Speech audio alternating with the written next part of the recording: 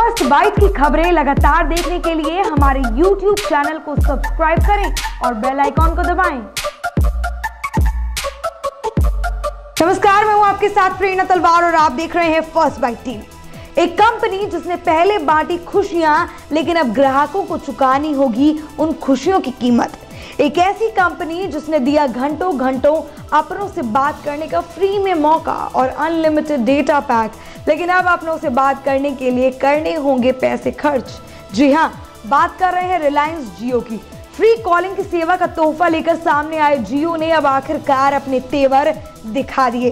पहले जियो धारकों को किसी भी अन्य नेटवर्क पर कॉल करने के लिए कोई पैसा नहीं देना पड़ता था, लेकिन अब रातों रात जियो ने अपने ग्राहकों को झटका दे दिया।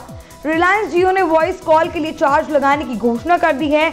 अब कंपनी अपने नेटवर्क से अन्य नेटवर्क पर की गई कॉल के लिए छह पैसे प्रति मिनट की दर से चार्ज करेगी। और अगर आप सोच रहे हैं कि कंपनी ऐसा करने की सोच रही है तो आप गलत सोच रहे हैं, क्योंकि कंपनी ऐसा डिसीज़न ऑलरेडी ले चुकी है। बुधवार से जियो यूज़र्स के लिए ये दरें लागू कर दी गई हैं। कॉल टर्मिनेशन चार्ज को लेकर बनी अनिश्चितताओं के चलते कंपनी ने कदम उठाया। हालाँकि कंपनी ने इसकी कीमत के बराबर फ्री डेटा देने की बात ज़रूर कही है।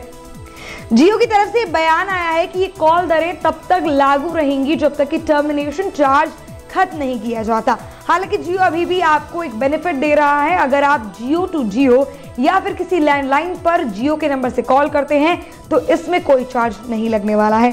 खैर, अचानक जियो के इस कदम से लोग लगातार जियो की आलोचनाएँ कर रहे हैं। सोशल मीडिया पर इसका खास असर देखने को मिला है। एयरटेल ने भी जियो की कड़ी आलोचना की है। फेसबुक पर जियो का काफ़ी मज़ाक बन रहा है।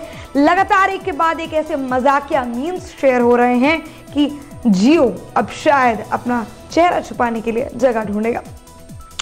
ये पहली बार नहीं हो रहा जब जियो के यूज़र्स को वॉइस कॉल के लिए कोई शुल्क चुकाना पड़े। इससे पहले भी जियो सिर्फ़ डेटा के लिए चार्ज करता था।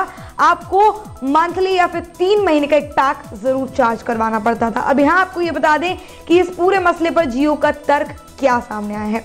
दरअसल जियो के नेटवर्क पर कॉल फ्री है, जिसकी वजह से इसे अपने प्रतिस्पर्धी एयरटेल और वोडाफोन आइडिया के बीते तीन सालों के दौरान तेरह हज़ार पाँच सौ करोड़ रुपए चुकाने पड़े और अब इसकी भरपाई के लिए ही अपने ग्राहकों पर चार्ज लगाने की तैयारी में जुट चुका है जियो, जिसका असर पड़ रहा है सीधा सीधा जियो यूज़र्स पर। तो फ़िलहाल के लिए इतना ही, फिर से लौटेंगे ऐसे ही और अपडेट्स को लेकर। Take care bye bye